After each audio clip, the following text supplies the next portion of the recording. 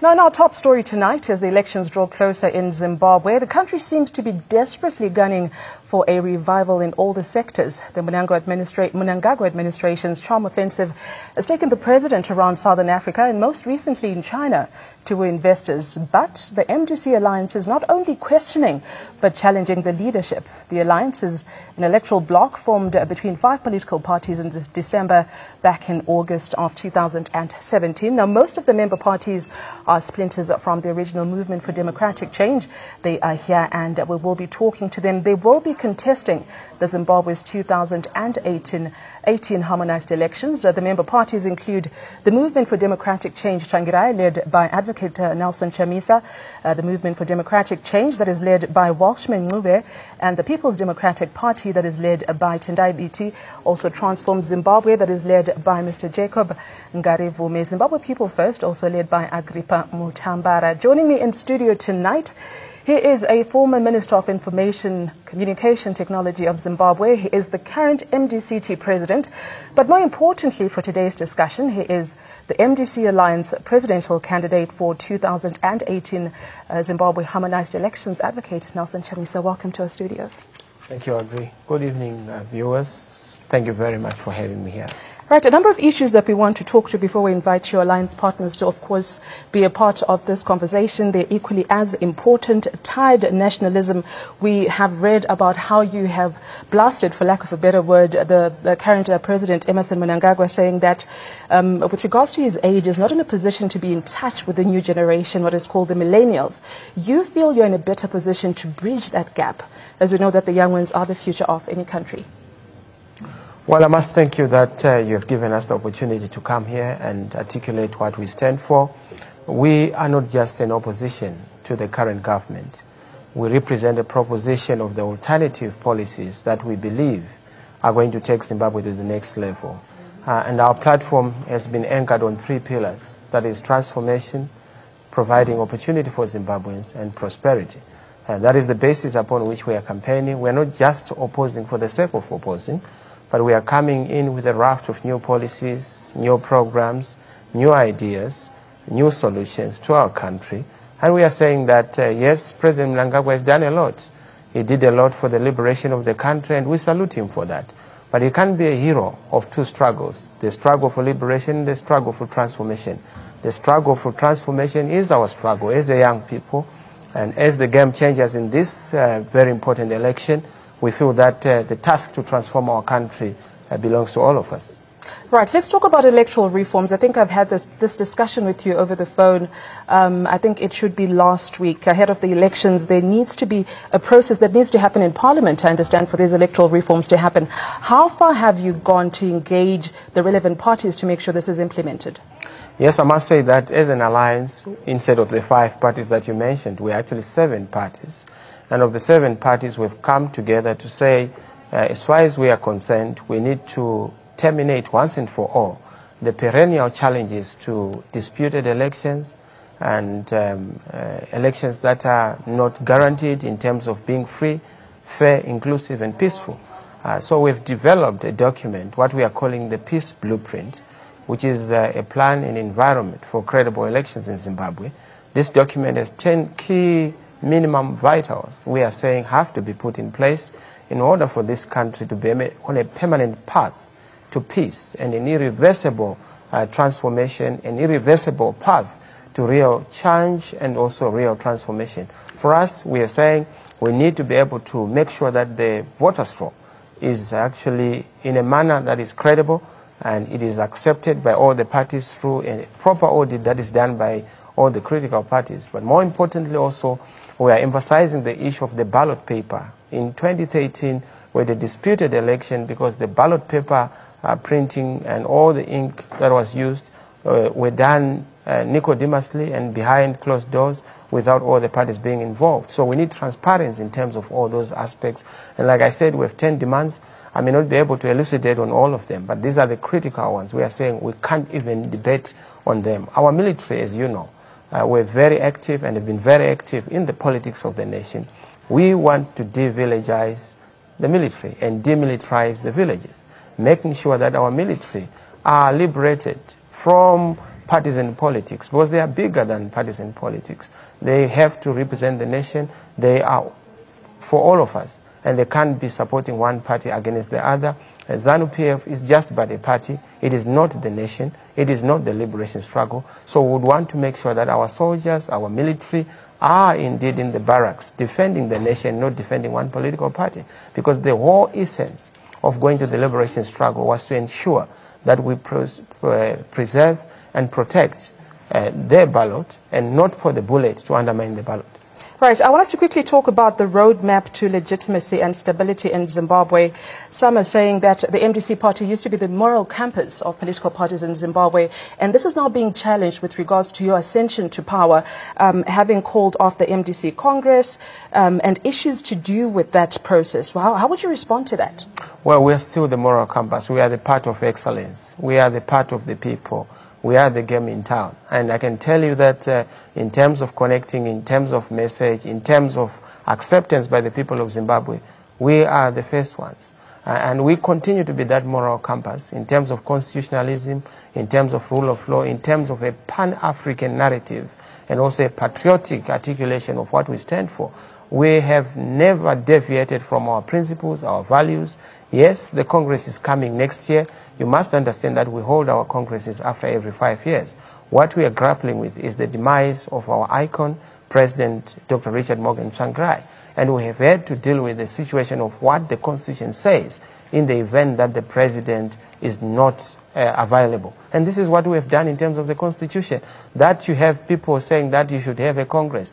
Life is not just about congresses. Life is also about respecting the organs, and the organ that is supposed to deal with issues is the National Council. Right. It dealt with the issues, it chose a leader, and the leader is the one who is speaking to you. And I'm very happy that uh, the people are happy. There's no problem within the party. Of course, individuals who probably also want to be part of the leadership, who always raise issues. It's part of the transitional issues. Right. Yeah. We're going to talk about uh, Madame Khupe and the challenge of, uh, of course, the leadership. Once again, I understand she's taken it a step further to court. How this could threaten the MDC alliance, and for that, for that, we'll invite some of the alliance partners to join me in studio. While we do that, we will also speak to the people that we have opened the phone lines for. I understand we have Robert from Soweto. Good evening to you, and uh, welcome to the show. What are your comments? Good morning, Madam. How are you? Very well. Uh, please go ahead. Good. Uh, I would want to ask uh, His Excellency, our President in waiting, uh, about the diaspora vote because that is very crucial as well. Okay, diaspora vote will touch on that. There was an MDC alliance here in South Africa in Tembisa. The alliance partners will furnish us with those details. Robert, thank you so much for calling in. Shadrach in Limpopo, we see you. What is your comment or question? I wanted to ask uh, uh, the president uh, about, uh, uh, I mean, what he's going to do to deal with um, uh, many Zimbabweans who are in South Africa um, to make sure that they are going also to participate in elections because um, we we cannot ignore the number of uh, Zimbabweans that are in South Africa. Vast of them are from Limpopo, others are in Johannesburg. But what what is the role from the party point of view? Um, they are going to play to ensure that Zimbabweans are mobilized to go and participate in, uh, in the national elections. Right, thank you for that comment. That's Shadrach from Limpopo. I'll just quickly pose those questions to uh, the presidential candidate of the MDC Alliance very quickly as we get the alliance partners all mic'd up so we can have a word with them. The issue of the diaspora vote is a very important one. Millions of Zimbabweans that are not, not only in South Africa, but, you know, in Southern Africa that are hoping to be a part of this democratic process. Obviously, it's not going to happen in the individual countries. How do you mobilize for people to go back, go back home and vote? Well, that's precisely our point, Audrey. We have emphasized the point on our 10 peace demands. We have said that the issue of the diaspora vote is one of the most important ones. Why? Because we are guided by international statutes. We are guided by the SADC guidelines on elections. It's very clear that Zimbabwe is an exception. It's the only country where the diaspora vote is not being respected. You go to South Africa, you go to Malawi, Zambia, and all other African uh, countries. They have a way of providing for the diaspora voting uh, to be enabled. In fact, we have over 4 million Zimbabweans who are in the diaspora. They have not been accounted for. Of course, government uh, insists that those who work for government are the only ones who are supposed to uh, vote. But we have diasporans who have been contributing in terms of nas- the national fiscus, in terms of revenue, in terms of remittances. You can't have uh, taxation without representation.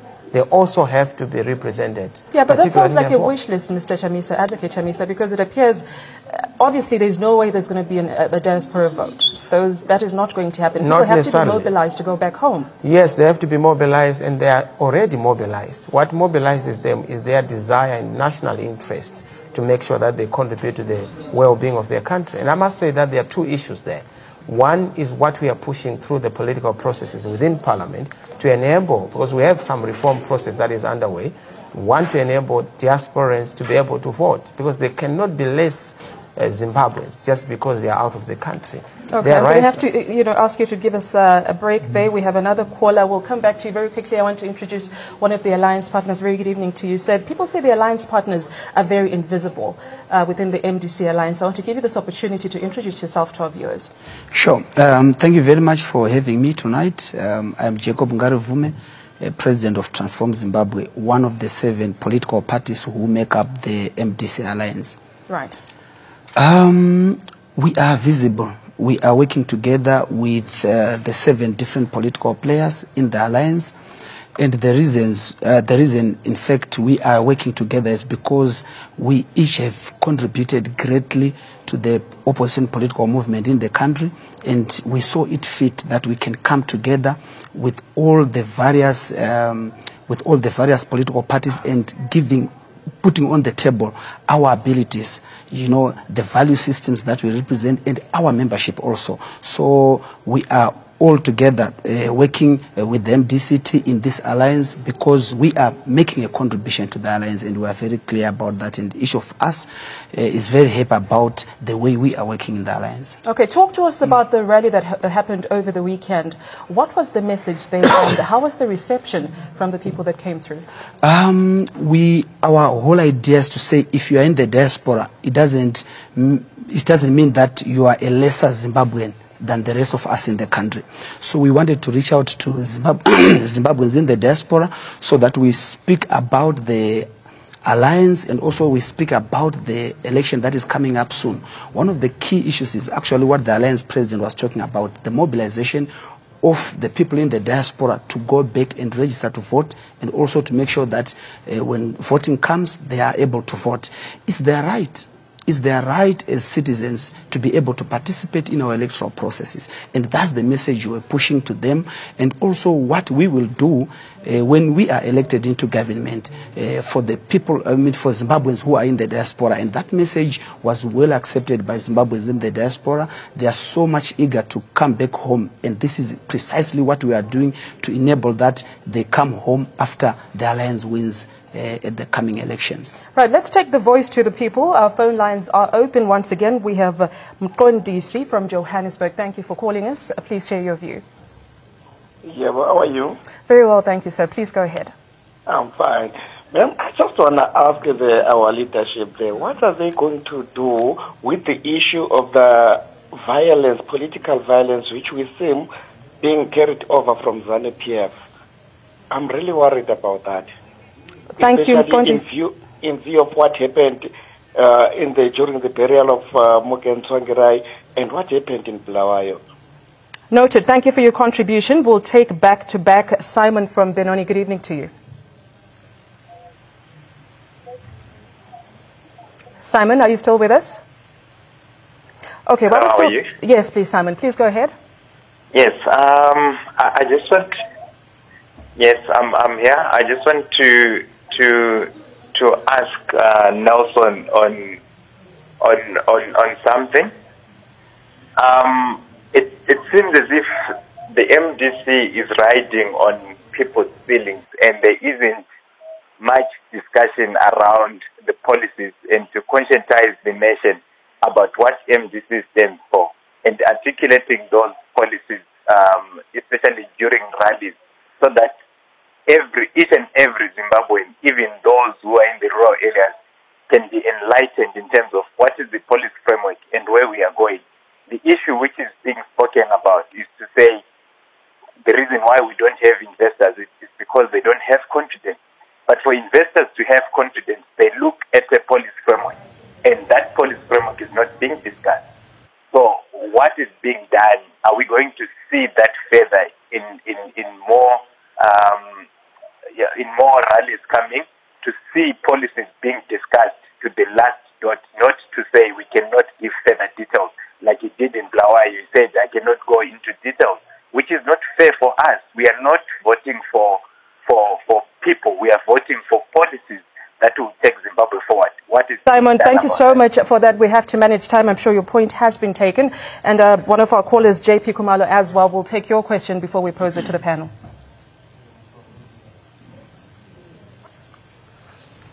JP Kumalo, are you with us? Okay, I suppose we'll try and get a hold of him and please phone him back so we can hear his views. Um, I'll come to you, Advocate Chamisa. There's issues to do with the violence that uh, characterized the funeral of the, of the late um, Morgan Tsvangirai. Have that been curtailed? And if so, how do you ensure the electorate, the nation, that this will never happen again going forward, particularly now as we're getting so close to the polls? Precisely, yes. Um, I must admit that um, violence has been part of the national uh, culture and the national psyche of our politics. And we need to deal with that in a very radical way. Uh, partly it is because of an inherited um, uh, experience on account of politics at the hands of ZANU-PF, but also because our politics has not been politics of ideas. So we need to move from that old dispensation of engaging physically to that dispensation of engaging on issues, on ideas, on policies. And that is what I'm ushering in, uh, particularly in the context of the MDC. We have been very clear to say we need to dismantle uh, the relics and manifestations of ZANU-PF culture of violence. We have been victims of violence as MDC, state-sponsored in some cases violence, but also in some cases partisan violence at the hands of ZANU-PF. So Yes, I can still visibly see your scar on your forehead there that obviously happened during one of those very unfortunate times. Do you think you did enough to get accountability with regards to the violence that happened at that very unfortunate time for the MDC? Indeed, we have done a lot. Uh, in fact, we have left no stone unturned. We have done everything within our power. We lodged uh, a commission of inquiry, which commission of inquiry also brought some very startling revelations that the violence that we saw at President Tsvangirai's uh, burial or funeral was actually violence coming from our colleagues in ZANU-PF who planted agent provocateurs to try and embarrass certain of our leaders. It's something that we have taken up with the police and it's something that we have not taken lightly. Even within the party, those people whom we have found to be associated, even as they were being mobilized by those uh, uh, provocateurs, are certainly going to be dealt with. In fact, we've already begun the process. Yeah. Well, ZANU-PF is not here to answer for themselves, but of course we always give them an opportunity for a right to reply. Mr. Ngarivhume, the issue of policy framework, the electorate is saying we need to hear more of that. You are playing on people's emotions, which I suppose you can't really separate the two, but when it comes to tangible bread and butter issues, where, where do you stand with issues like the, um, the cash crisis in Zimbabwe, to name a few issues that are, people are battling with on the ground? Sure. Um, I think um, it has been very, in all our meetings and rallies, which even the Alliance president has been addressing, I think he has been articulating on issues to do with police. And of course, what we have to sell as an alliance is what we will do for the people of Zimbabwe.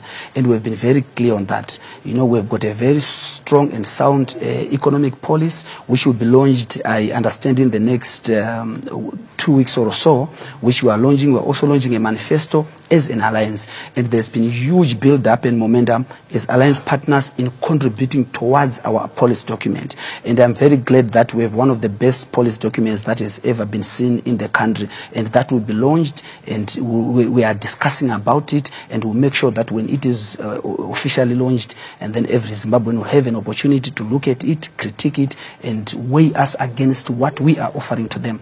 But be that as it may, already we have been talking a lot about policy, what we'll do to end the economic, I mean, the economic crisis the people of Zimbabwe find themselves in. We've been talking about how to deal with the cash crisis. We've been talking about how to deal with the infrastructure, the state of infrastructure in the country. And I think it's on record that we have been talking about all those issues. And we will continue to talk about all those issues because those are the pertinent issues that the people of Zimbabwe are looking at. And we are, we, we are glad that we are responding to uh, the expectations of the people of Zimbabwe. Right, Mr. Chamisa, any policies you want to articulate uh, for our viewers very quickly? Issues that really touch to the core of a Zimbabwean who's on the ground and who's really just trying to make ends meet. That's fine. Um, we, we, we are very conscious of the fact that we need to state the what and how and the when of our policies. But we are also quite mindful of the fact that the proclamation of the date of the election has not been done. We know our colleagues in ZANU-PF are very good at manipulating our policies. They've done so through President Mnangagwa, who has literally uh, been copying and pasting our policies. Not that we are worried if it is for the good of the country, we really appreciate. But we are also conscious that we need to launch our policy blueprint. And in that blueprint, we have five fundamental issues that we are focusing on. First thing is the issue of governance, how we are going to change the structure, infrastructure, and culture of governance. Number two is the economic uh, blueprint in terms of how we are going to create jobs, how we are going to make sure that we induce macroeconomic stability. We deal with the issue of the currency reform within the country, the fiscal reforms and uh, the monetary reforms that are going to be instituted. Uh, the issue of making sure that there's technology transfer within our market and most importantly, entrepreneurship and dealing with corruption. The third issue is the issue of our social structure intervention. What we are going to do with the people with disabilities, the elderly, pensioners, who have lost their money. What we are going to be doing, we're already clear on those policies, and we're going to be articulating in our rallies to come. Uh, fourth issue is the issue of infrastructure. We are very clear. Seek ye first the kingdom of infrastructure. All things will then fall in place. We need our transport, we need our energy, we need our power, we need our water, we need housing. Those are the issues we are focusing on. And of course, in detail, we have indicated what we are going to do. Last but not least is the issue of making sure that we uh, get Zimbabwe back into the family of nations in terms of international relations, the flag, following trade, and also making sure that we have our dollar where our interests are. Those are the five fundamental pillars we are following in terms of our SMART programs, which is a sustainable and measurable agenda for real transformation. We have a fantastic program, and we are so proud of it, like what President Ngarivhume said. That program is going to be launched. Once we have launched the program, we have a rollout and popularization of our popular version of what we stand for. So yes, policies are there, are coming. Like I said, we are not just an opposition. We are a proposition of the alternative. With three months to go, we're hoping that manifesto will be out, and of course, we'll invite you back in studio so we can go through some of those policies. Gentlemen, thank you so much for speaking to us tonight. It has been such a pleasure. Most appreciated. Thank you. And for you at home for joining in the conversation, thank you so much for participating. This has been Africa Tonight with myself, Audrey Chimwanda. Asante sana.